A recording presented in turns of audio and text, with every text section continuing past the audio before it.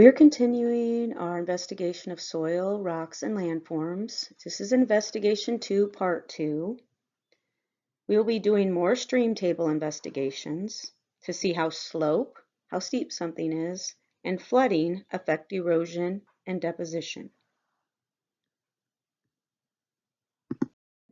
After this slide, you will watch a video about different landform vocabulary words and different pictures of different landforms. And I want you to think about what factors might explain how the features that you see in the landforms photo album might have formed. What do you think might have caused it to form like it did? Next, we will look at some landform definitions. An alluvial fan is a fan-shaped deposit formed when a fast-flowing stream, often a flash flood, flows out onto a dry area. A canyon is a deep valley with steep sides eroded by a river. A delta is a fan-shaped deposit at the mouth of a river. Deposition is the process by which eroded materials settle out in another place. Erosion, the process by which water, wind, or ice carries away earth materials. A floodplain, the land that gets covered by water from a stream or river during a flood. Hill, a small mountain, lower and less steep than a mountain. Meander, a curve or loop in a river. Mountain, a high uplifted area with steep slopes. Valley, a low area between hills and mountains, often where a river flows. Next, we'll look at a landforms photo album. So these particular landforms are formed by weathering and erosion. So an arch,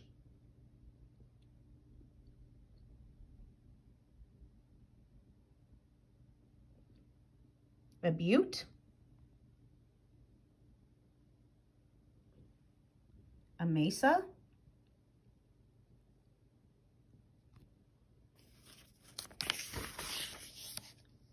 a gorge,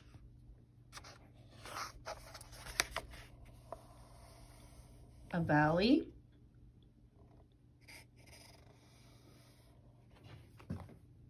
hanging valley, canyon,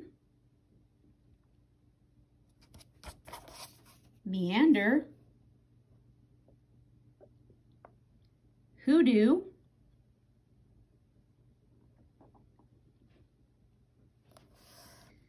exfoliation dome, spheroidal rocks,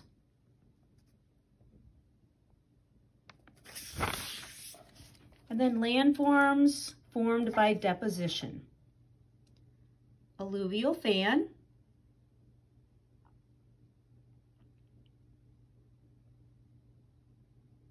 beach,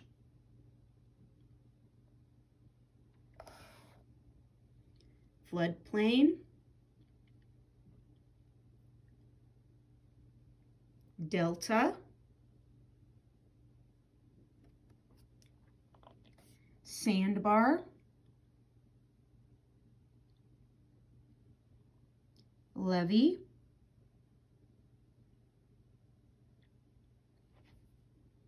moraine,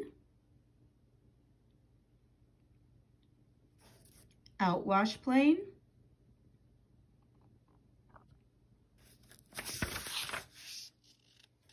plain,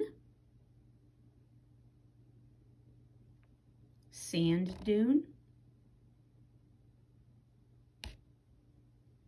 landslide, slump.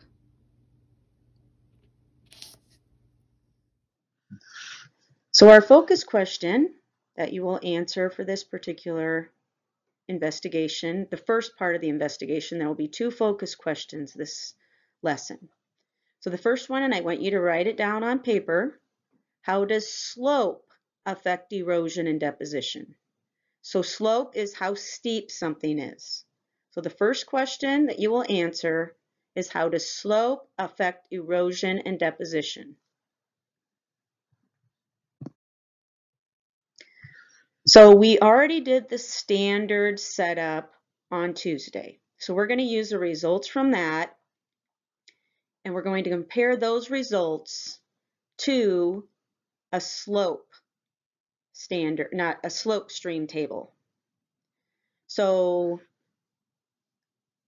as you will see in the video, the slope stream table has two wedges underneath it to lift it up. We'll see what that does to the results. So there's a stream table, a water source, and it's the same standard water source, so same rainwater. Um, we've got the ruler again, we've got two wood angles underneath the slope one, the container, the basin, the meter tape, water. And I will be drawing my results from the observation of the slope stream table. And then I will be showing you the difference between the standard stream table and the slope stream table. So now we're going to test how slope affects erosion and deposition. So everything's set up the same. We have the tray with the earth material, ruler with a standard water source, so the same like rainwater. But this time we have a slope. We have two wedges underneath to give it more slope. So let's see if that changes the speed of things happening or if there's anything that happens that we notice different. Already we can see it's going pretty much quicker. Wow, that's flying. Didn't have to be quite as patient this time. And the pathway that it takes is a little bit different as well. The slower went off more to the side, and this one's a little bit more middle-ish. We still have our valleys and canyons. And we still have the alluvial fan. And it looks like, look at that, there's some sand that's getting close to the hole. So definitely changes the force that it moves the earth materials.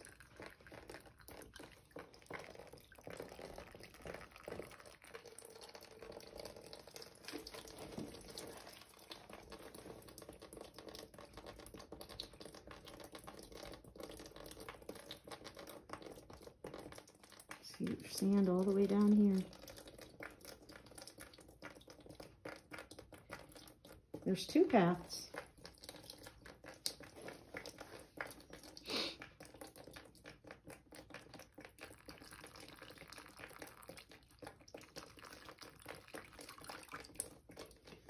Definitely a much quicker process.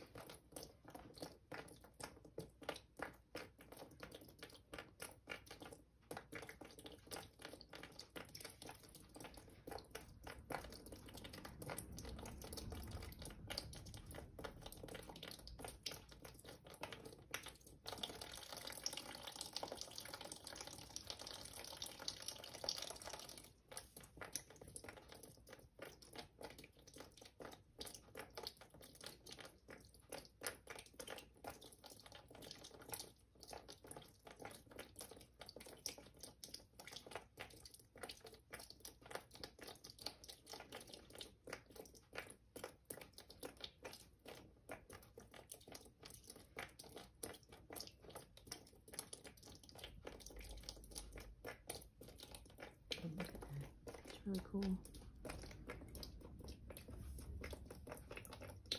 More fan shaped than the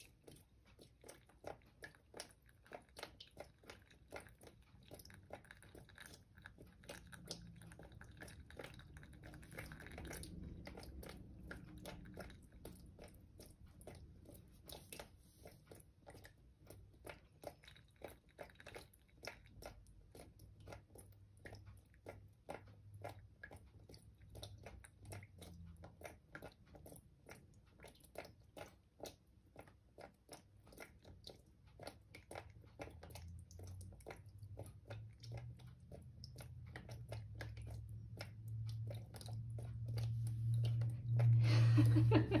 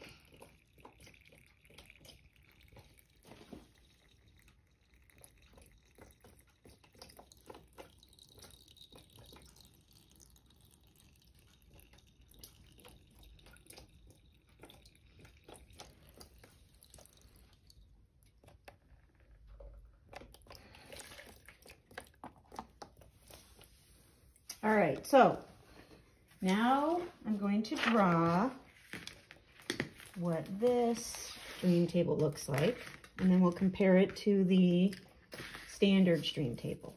So I've got a slope, slope tray. So starting from the top, look at the sand has gotten all the way down to, looks like 48. And the clay is all the way to the end. So slope, slope, slope. I'm going to turn it so it looks like it. And it's more of, like it comes more down the middle. And it comes out farther. And it kind of comes this way. Down and in. Guess I didn't need to, yeah, I did need to do that. And it gets more narrow. And it comes down, what I say, about 48? So this is a sand.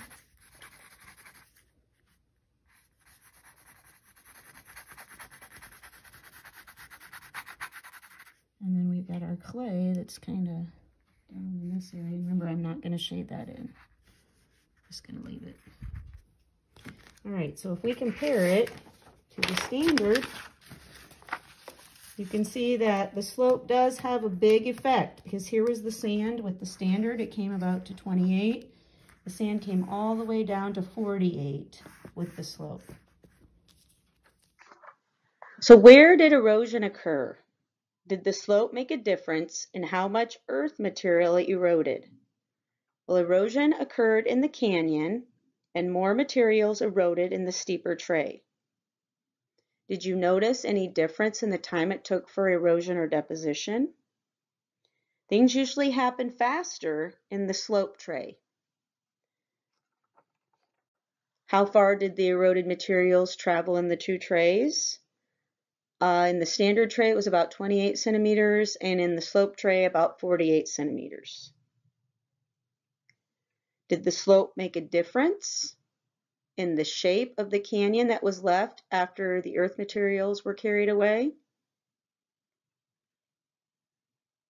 The canyon is usually deeper and has steeper sides with the slope. How far did the eroded materials travel in the two trays? I answered that one, but the earth material traveled farther in the slope tray.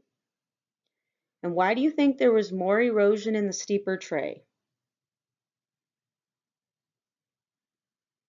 So if you were thinking when the land was steeper, water flowed faster.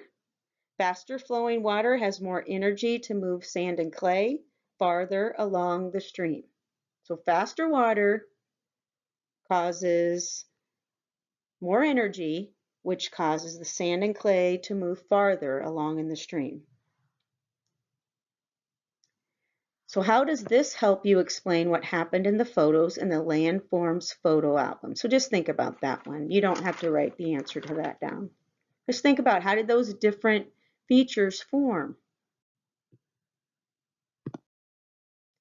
So assignment number one for today's lesson is to answer the focus question, how does slope affect erosion and deposition? Please use the new vocabulary words in your answer. And please take a picture of it and submit it on Seesaw or email. And we do have a second part. So the next part we're going to test is flood. So what is a flood?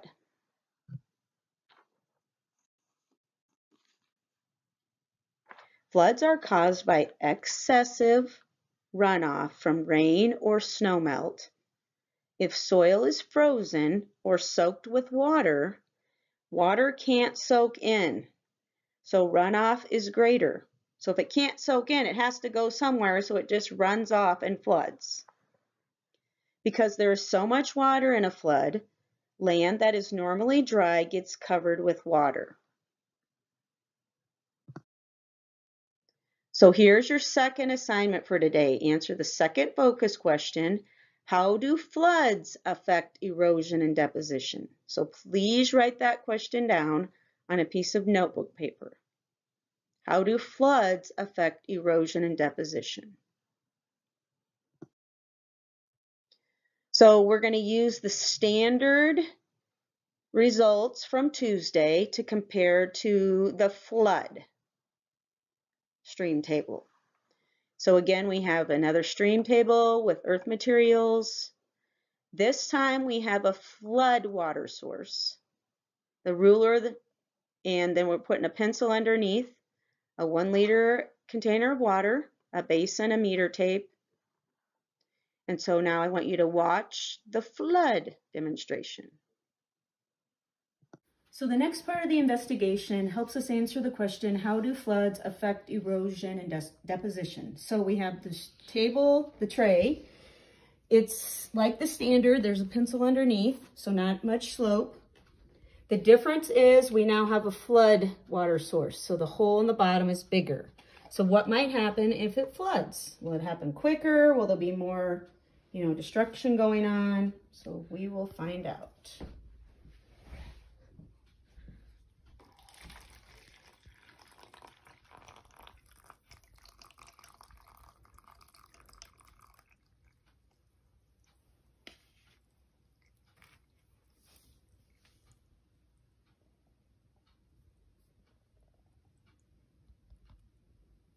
Oh, it's more spread out.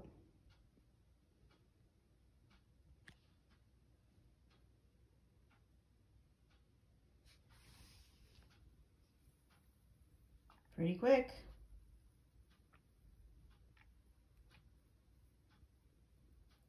Pretty powerful.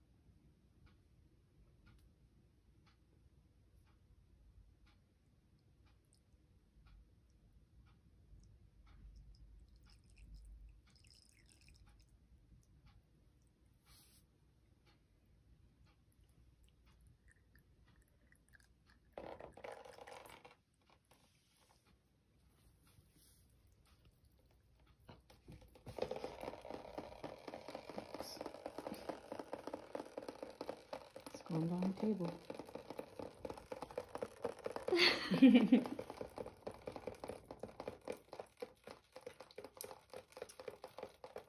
well, the sand doesn't come out quite as far, but it was a lot wider, it looks like. So it was powerful at first, and it pushed the sand, and all that clay. You can see a whole bunch of clay coming down. It was quick,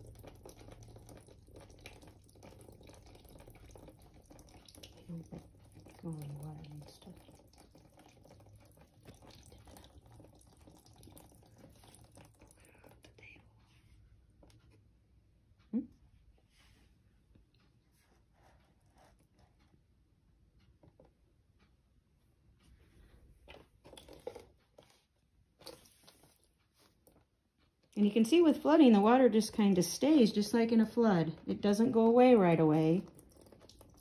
You know, when we have a flood, it takes a while for it to recede back to where it was before. All right, so let's go ahead and draw what we see because all the water is out of the container. We still have the water, I know, but that's just what a flood does. So, looks like it's to 26. So it didn't even go as far as the standard, but it's a lot fatter path, it looks like.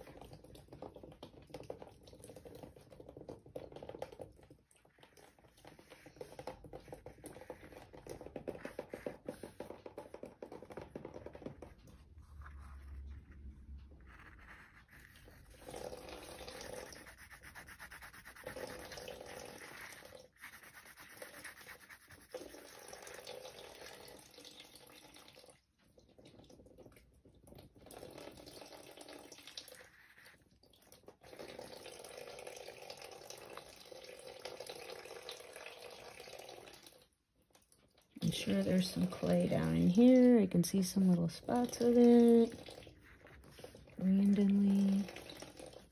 So remember the shaded part is the sand, the white part is the clay, and we have some random spots of white.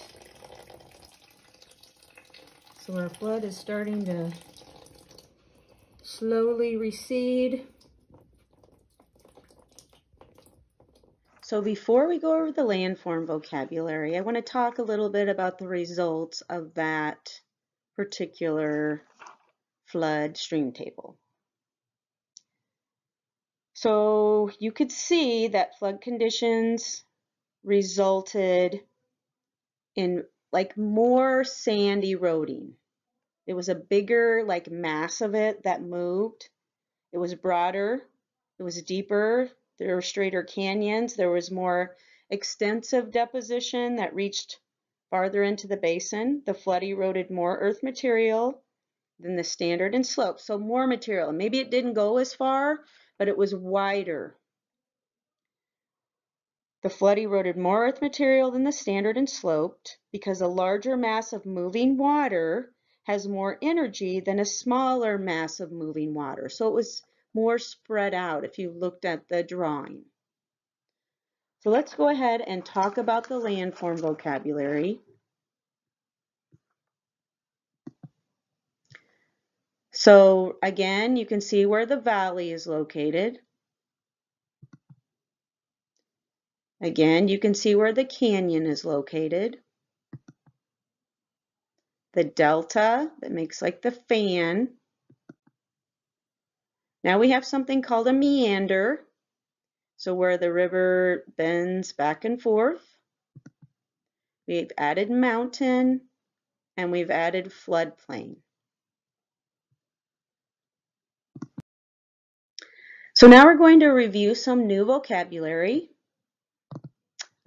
The slope is ground that forms a natural or artificial incline or slant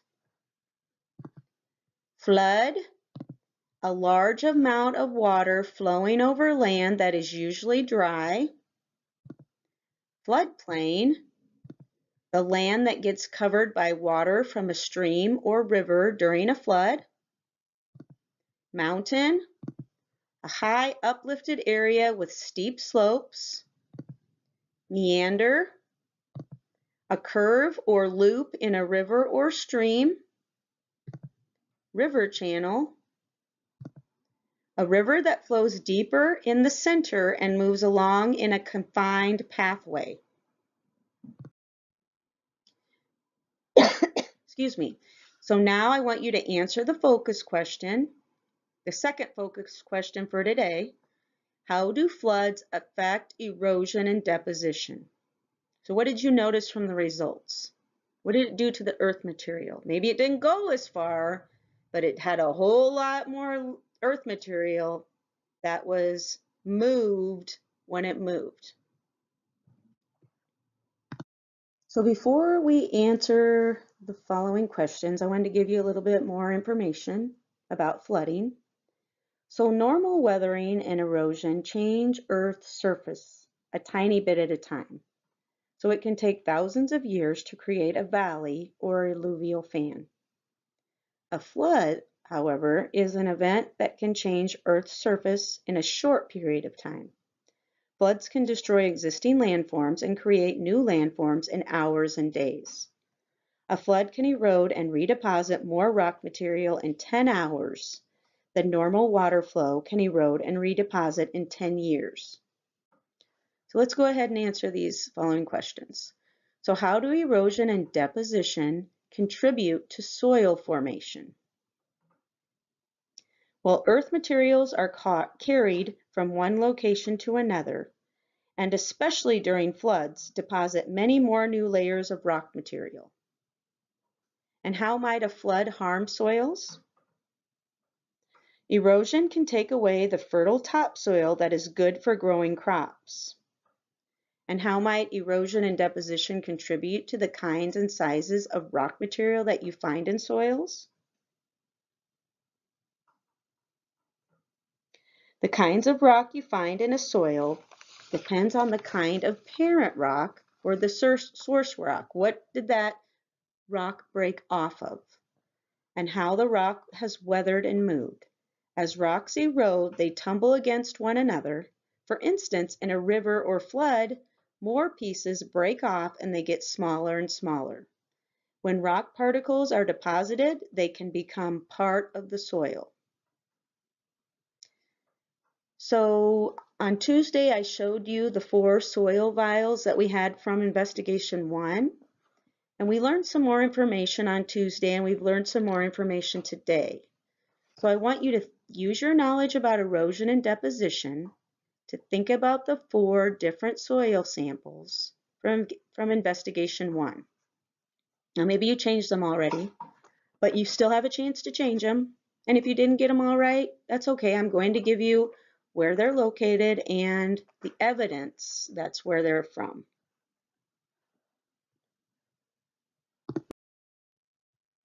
All right, soils from investigation one.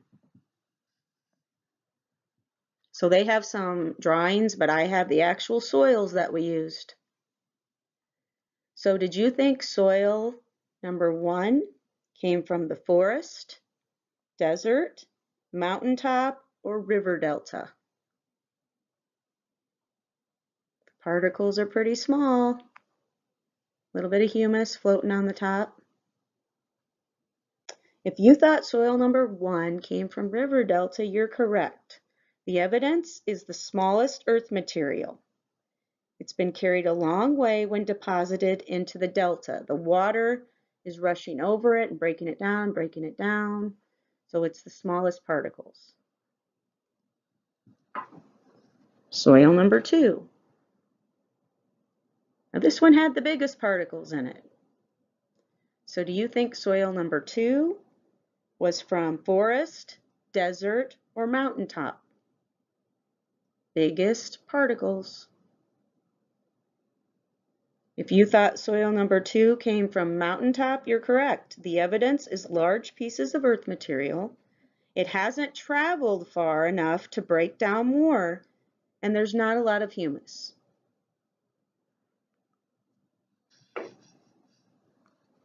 soil number three. So the two choices for three and four will be desert and forest. So which do you think number three is? There's a lot of sand. If you thought desert, you're correct. The evidence is mostly sand and gravel and not a lot of humus. last but not least, soil number four. is the forest. The evidence is lots of humus and different sizes of earth materials. Good job, everyone.